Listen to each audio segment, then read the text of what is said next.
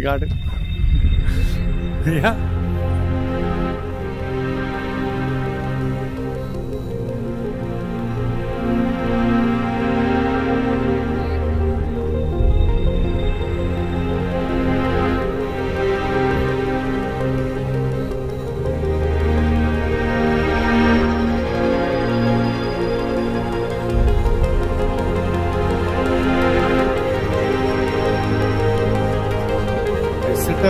My QHY 367C, which is a color camera, and it is a full frame camera. My first full frame camera, if, even if it is a CMOS or a DSLR.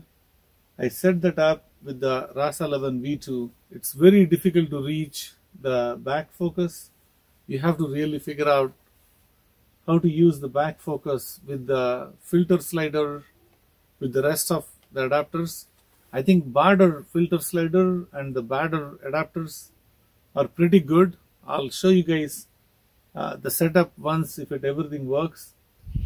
The observatory project that we are working on, I think we got the permit from the county uh, thanks to the Hayes County uh, I guess the department who gave me the permit for putting the slab together so we can pour the concrete maybe like tomorrow.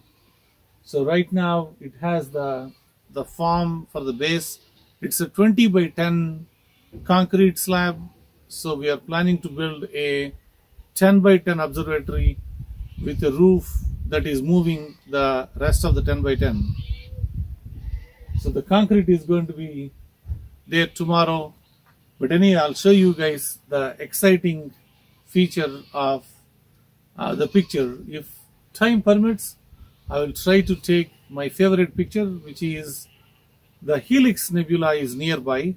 I also saw the Saturn Nebula nearby. I didn't know if I'm going to capture both of them or maybe one. I'll try just to take a few uh, pictures, stack them and see how it is going.